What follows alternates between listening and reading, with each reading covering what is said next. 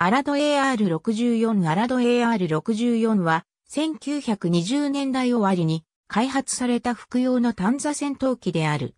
本機はドイツ国がベルサイユ条約の規制を放棄して再軍備を始めた頃に製造された最初の戦闘機の中の一機であった。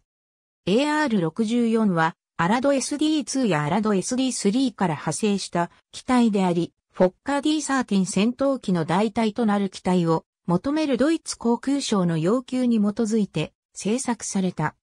AR64D と 64ME は第一次世界大戦後のドイツで一定数が生産された最初の戦闘機であった。この2種の相違点は 64D が改良された膠着装置と4枚ブレードのプロペラを持ち、64E はダイレクトドライブ版ジュピター6製型エンジンに2枚ブレードのプロペラを装着していた。1932年夏に両タイプ合わせて20機が発注され、そのうちの19機がシュライスハイムの戦闘機パイロット、学校、デベリッツとダムにある航空団の戦闘飛行隊に配備された。 Data from、出典、Aircraft of the Third Reich 諸元性能武装。ありがとうございます。